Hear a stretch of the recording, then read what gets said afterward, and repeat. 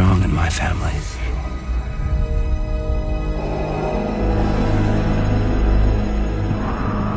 My father has it.